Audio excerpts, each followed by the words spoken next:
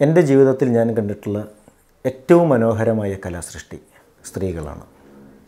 ഒരുപക്ഷെ ഞാനിത് പറയുമ്പോൾ നിങ്ങൾക്ക് മറ്റെന്തെങ്കിലും ഒരുപക്ഷെ എന്നോട് തോന്നിയേക്കാം.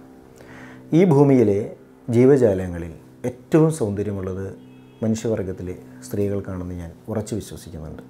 അതിന്റെ ഒരു കാര്യം പലപ്പോഴും നമുക്കറിയാം എത്രയോ ദുർബലനാണ് പുരുഷൻ. ജീവിതത്തിലെ പല പ്രതിസന്ധി ഘട്ടങ്ങളിലും പുരുഷന് ഒറ്റയ്ക്ക് നിന്നുകൊണ്ട് മറികടക്കാൻ സാധ്യമല്ല. വാസ്തവത്തിൽ കുടുംബം എന്നുള്ളത് കുടുംബം എന്നുള്ളതിന്റെ സാങ്കത്യം വ്യക്തമാകുന്നതും അവിടെയാണ്. സ്ത്രീക്ക് തനിച്ച് നിൽക്കാൻ സാധ്യമല്ല പുരുഷന് തനിച്ച് നിൽക്കാൻ സാധ്യമല്ല. അങ്ങനെ ആരെങ്കിലും വിചാരിക്കുന്നുണ്ടെങ്കിൽ അത് വലിയൊരു മണ്ടത്തരമാണ്.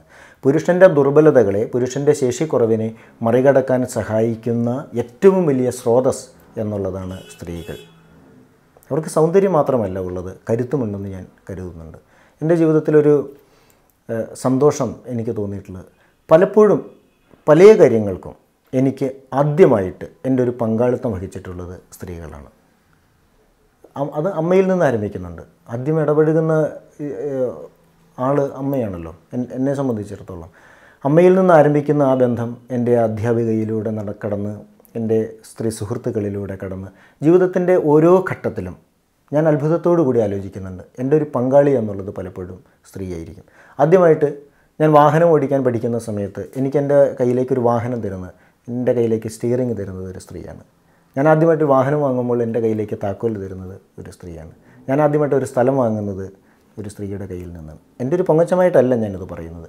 തിരിഞ്ഞു നിന്ന് നോക്കുന്ന ഒരു സമയത്ത് ജീവിതത്തിന്റെ ഒരുപാട് ഘട്ടങ്ങളിൽ എപ്പോഴും വലിയ ഒരു പ്രചോദനവും പ്രേരണയും പിന്തുണയുമായിട്ട് സ്ത്രീകളുണ്ടായിട്ട്. ഞാൻ അറിയുന്നവരല്ല പലരും അറിയാത്തവരും അറിയുന്നവരുമായിട്ട്. അതുതന്നെ നമ്മുടെ വായനക്കാരിൽ നിന്നുമുണ്ട്. ശരിയായ വിധത്തിലുള്ള വിലയിരുത്തലുകൾ ഉണ്ടാകുന്നത് പലപ്പോഴും സ്ത്രീ സുഹൃത്തുക്കളായ വായനക്കാരിൽ നിന്നായിരിക്കും. പലപ്പോഴും നമ്മുടെ സമൂഹത്തിൽ നമ്മളൊന്ന് പതറി നിൽക്കുന്ന ഒരു സമയത്ത് നമ്മളെ മനസ്സിലാക്കി നമ്മളോട് അനുതാപത്തോടു കൂടി ഇടപഴകാൻ നമ്മുടെ അടുത്തേക്ക് വരുന്നത് അപരിചിതയായിട്ടുള്ള ഒരു സ്ത്രീയായിരിക്കും. ജീവിതത്തിന്റെ ഏതെങ്കിലുമൊക്കെ ഒരു ഘട്ടത്തിൽ എന്ത് വേണമെന്നറിയാതെ നിൽക്കുന്ന ഒരു സമയത്ത് നമ്മളെ സഹായിക്കാനായിട്ട് മുന്നോട്ട് വരുന്നത് പലപ്പോഴും സ്ത്രീകളായിരിക്കും. എന്റെ ഒരു സുഹൃത്തിനോട് ഞാനൊരിക്കൽ എനിക്ക് കിട്ടിയ ഒരു സമ്മാനത്തെക്കുറിച്ച് ഒരു ഐപോഡിനെ കുറിച്ച് ഞാൻ പറഞ്ഞുകൊണ്ടിരുന്നു. അപ്പോൾ പെട്ടെന്ന് തന്നെ അയാൾ എന്നോട് ചോദിച്ചു ഇത് നിനക്ക് തന്നതൊരു നിന്റെ ഒരു ആരാധിയായിരിക്കും അല്ലേ? എന്ന് ചോദിച്ചാൽ എനിക്ക് പെട്ടെന്നൊരു ചമ്മലുണ്ടായി. അത് ശരിയാണ് എനിക്ക് തന്നത് എന്റെ ഒരു വായനക്കാരിയായിട്ടുള്ളൊരു സ്ത്രീയായിരുന്നു. എനിക്കത് സമ്മതിച്ചു കൊടുക്കാൻ പെട്ടെന്ന് എന്റെ മനസ്സിലൊരു ചമ്മലുണ്ടായി. കാരണം ഞാനൊരു മലയാളിയാണ് ഞാൻ ഈ കേരളത്തിലാണ് ജനിച്ചു വളരുന്നത്. ഞാൻ അതുകൊണ്ട് തന്നെ നിഷേധിച്ചു. അല്ലല്ല അതെന്റെ ഒരു സുഹൃത്ത് വേറൊരാണ് തന്നതാണെന്ന് പറഞ്ഞു. അപ്പോൾ അവൻ അയാൾ എന്നോട് വളരെ പെട്ടെന്ന് തന്നെ പറഞ്ഞു അത് വിട്ടേക്ക്. ഒരിക്കലും സംഭവിക്കില്ല. ആരടാ നിനക്ക് ഒരു സമ്മാനം തരാൻ വേണ്ടിയിട്ടിരിക്കുന്ന ആൾ എന്ന് ചോദിച്ചു. അപ്പോൾ അത് അതൊരു വാസ്തവമാണ് അതിനകത്ത്. നമുക്ക് പലപ്പോഴും നമ്മുടെ സമ്മാനങ്ങൾ കൊടുത്ത് നമ്മളെ സന്തോഷിപ്പിക്കുന്നത് നമുക്ക് പലപ്പോഴും പ്രചോദനാത്മകമായിട്ട് നിൽക്കുന്നത് എതിർലിംഗത്തിൽപ്പെട്ടിട്ടുള്ള ആളുകളായിരിക്കും. ഞാനീ പറയുന്ന കാര്യങ്ങൾക്ക് അനുകൂലമായി സംസാരിക്കാൻ ഒരു പക്ഷേ ഇത് കേൾക്കുന്ന സ്ത്രീകൾക്ക് ചിലപ്പം സാധിച്ചേക്കും. അവരുടെ ജീവിതത്തിലെയും അവരുടെ ഏറ്റവും നല്ല സുഹൃത്തുക്കൾ സ്ത്രീകളായിരിക്കണമെന്നില്ല പുരുഷന്മാരായിരിക്കും. അതുപോലെ തന്നെയാണ് പുരുഷന്മാരുടെ ജീവിതത്തിലും. സമ്മാനങ്ങൾ കൊടുത്ത് അപ്രതീക്ഷിതമായി സന്തോഷിപ്പിക്കാൻ തീയതികൾ ഓർത്തു വെച്ച് നമ്മളെ അത്ഭുതകരമായി ഞെട്ടിപ്പിക്കാൻ ഒക്കെ സാധിക്കുന്നത് സ്ത്രീകൾക്കാണ്. അവരുടെ സാന്നിധ്യമില്ലായിരുന്നു എന്നുണ്ടെങ്കിൽ ഈ ജീവിതം എന്തുമാത്രം വിരസമായി പോയേനെ എന്ന് ഞാൻ പലപ്പോഴും ആലോചിക്കാറുണ്ട്. എന്റെ ആദ്യ പുസ്തകമായ വെയിൽ ചായുമ്പോൾ നദിയോരം എന്ന കഥാസമാഹാരത്തിന്റെ അവതാരികയിൽ നിരൂപകനും പത്രപ്രവർത്തകനുമായിട്ടുള്ള അജി പി. മങ്ങാട്ട് എഴുതി വെച്ചത് സ്ത്രീകളില്ലാത്ത ലോകം കുറ്റവാളികളുടെ തടവറ പോലെയായിരിക്കും എന്നുള്ളതാണ്. എനിക്കത് എന്നെ എന്റെ ജീവിതത്തെ ഒരുപാട് കാര്യങ്ങളോട് സാത്മ്യപ്പെടുത്തി ആലോചിക്കാൻ ഒരുപാട് കാര്യങ്ങളോട് ഒരു സന്തോഷം നിറഞ്ഞ ധൈര്യം പകരുന്ന ഒരു പ്രോത്സാഹനം പകരുന്ന ഒരു തീരുമാനമായിട്ട് മാറ്റാൻ ഒക്കെ എനിക്ക് ഈ വാചകം എന്നെ സഹായിച്ചിട്ടുണ്ട് പലപ്പോഴും. അതിനോടൊപ്പം തന്നെ ഞാൻ ഓർത്തു വെച്ചിരിക്കുന്ന ഒരു കഥയാണ് ശ്രീ ടി പത്മനാഭന്റെ പ്രകാശം പരത്തുന്ന ഒരു പെൺകുട്ടി എന്ന കഥ. എത്രയോ മനോഹരമാണ് ആ കഥ. ഒരുപക്ഷെ വായിച്ചിട്ടുള്ള ആളുകൾ ധാരാളമായിട്ട് നമ്മുടെ നാട്ടിൽ ഉണ്ടാവും.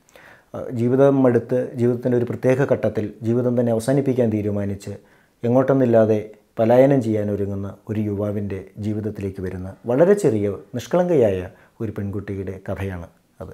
ആ പെൺകുട്ടിയും അവളുടെ അനുജനും അനുജത്തിയും അടങ്ങുന്ന ഒരു സംഘം ഒരു സിനിമാ തിയേറ്ററിൽ വെച്ച് ഈ നിരാശ ബാധിച്ച ചെറുപ്പക്കാരനെ കണ്ടുമുട്ടുന്നതും ആ പെൺകുട്ടിയുടെ പൊട്ടിച്ചിരിയും ആഹ്ലാദങ്ങളും ആ ഹിന്ദി സിനിമയുടെ കഥ തന്റെ അനുജനും കൂടെയുള്ളവർക്കും പറഞ്ഞു കൊടുക്കുന്നതിൽ അവൾ കാണിക്കുന്ന മിടുക്കും ആകാംക്ഷയും സ്നേഹവുമെല്ലാം അയാളെ വളരെയധികം ഇരുത്തി ചിന്തിപ്പിക്കുന്നതുമാണ് ആ കഥ.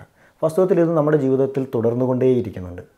ടി. പത്മനാഭൻ കണ്ടുപിടിച്ച ആ വലിയ രഹസ്യം നമ്മുടെ ജീവിതത്തിന്റെ ഓരോ വ്യക്തിയുടെയും ഘട്ടത്തിൽ ഓരോ ദിവസവും നടന്നുകൊണ്ടേയിരിക്കുന്നുണ്ട്. എനിക്ക് തോന്നുന്നുണ്ട് നമ്മുടെ നാട്ടിലെ പുരുഷന്മാർക്ക് ജീവിക്കാനുള്ള ഏറ്റവും വലിയ പ്രചോദനം കൊടുക്കുന്നത് അവരുടെ അമ്മയും അവരുടെ ഭാര്യയും പിന്നീട് അവരുടെ മകളും ആയിരിക്കും എന്ന്.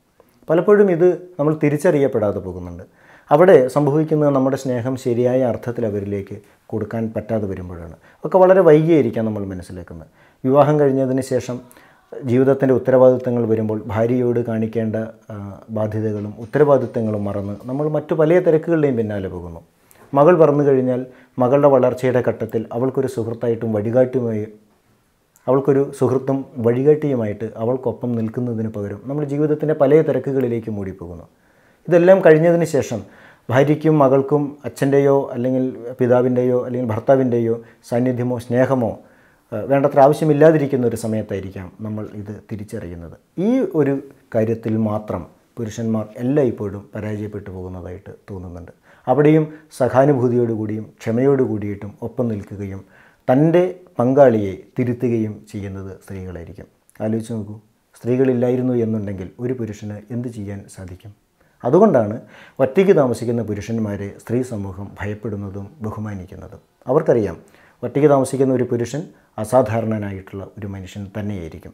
അല്ല എന്നുണ്ടെങ്കിൽ അയാൾക്ക് സ്ത്രീയായിട്ടുള്ള ഒരു പങ്കാളിയുടെ സാന്നിധ്യമില്ലാതെ പ്രാധാന്യമില്ലാതെ ജീവിതത്തിൽ ഒരടി പോലും മുന്നോട്ട് വയ്ക്കാൻ സാധിക്കുകയില്ല.